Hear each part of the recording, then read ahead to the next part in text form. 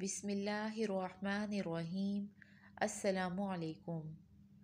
اللہ تعالیٰ کی پسندیدہ دعائیں پڑھنے کا اہتمام کیجیے۔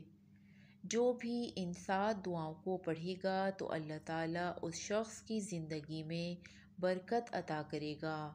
اللہ تعالیٰ اس شخص کے رزق میں برکت عطا کرے گا اور ان دعاؤں کو پڑھنے والے کے لیے اللہ تعالیٰ آسانیاں ہی آسانیاں پیدا کرے گا۔ روزانہ ان سات دعاؤں کو ضرور پڑھ لیا کریں۔ نمبر ایک، لا حول ولا قوة الا باللہ۔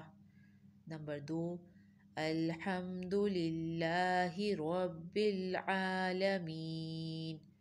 نمبر تین، سبحان اللہ و بحمدہ۔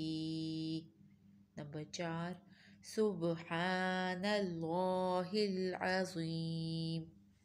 نمبر 5 أستغفر الله الذي لا إله إلا هو.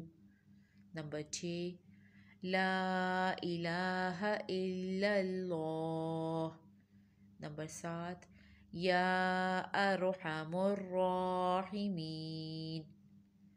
یہ اللہ تعالیٰ کی سات پسندیدہ دعائیں ہیں۔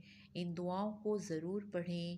اللہ تعالیٰ ہم سب کو اس پر عمل کرنے کی توفیق عطا فرمائے اور ہمیں پانچ وقت کا نمازی بنائے۔